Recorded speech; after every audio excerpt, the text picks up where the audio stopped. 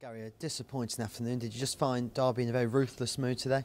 I think they were, yeah. I don't think um, the grand scheme of things, particularly the first 20 minutes of the second half, I don't think we deserved to be on the end of a 4-0 beating. Um, but we've seen how those games go. You know, we had a similar one against Reading where Reading didn't play too badly and we ended up winning 6-1. So um, I think the key for us is to have a little bit of balance about the view. Uh, we didn't play well enough today. I felt we gave Derby far too much respect. Although I have to say that I think they were probably the best team that have come here, the best team we've played so far, and the way they moved the ball, the way they caused you a problem with the front, the front, um, the front players. I thought they were very, very good. But their finishing was clinical. You know, you saw it towards the end that when you're chasing the game, we had to gamble at half time and try and come out and press a little bit higher up the pitch. You know, you're going to leave space, and, and they scored against a run of play really second half, and it more or less killed the game off. And that is the difference when you're playing the teams at the top. They, and even the half chances they're presented, they more than often sit them away.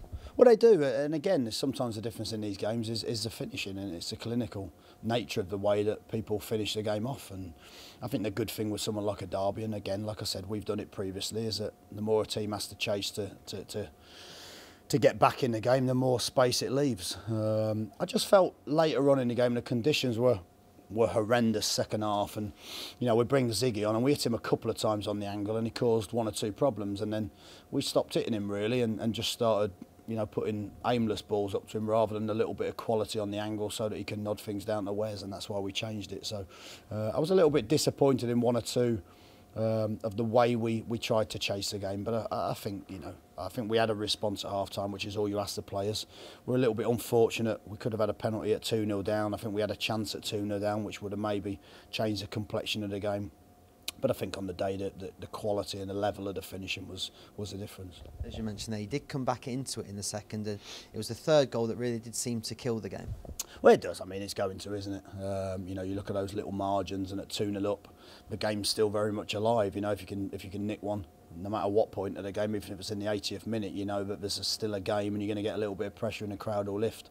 Having the third goal, as I said, against a run of play, really just kills us off. Um, and we gamely still chase the game and we gamely still try to have a go. Um, but I just think that was a difference. And then they score a fourth when we're chasing further. Maybe at that point you can look and say we should probably just shut up shop and protect our goals against Column. Um, but I think the team have been brave. We've always tried to be brave and we're going to win some games and some games we're going to get picked off. Um, and I thought Derby did that really well today. You won't have much time to reflect because in two days' time you head to Nottingham Forest. Yeah, I think we, you know these two games are always going to be difficult in, in as much as they're two very tough games, um, and also you know the turnaround in terms of the time. So, but it's the same for Forest. They've had to travel all the way up to Middlesbrough and come back, so they're going to be no better prepared for us.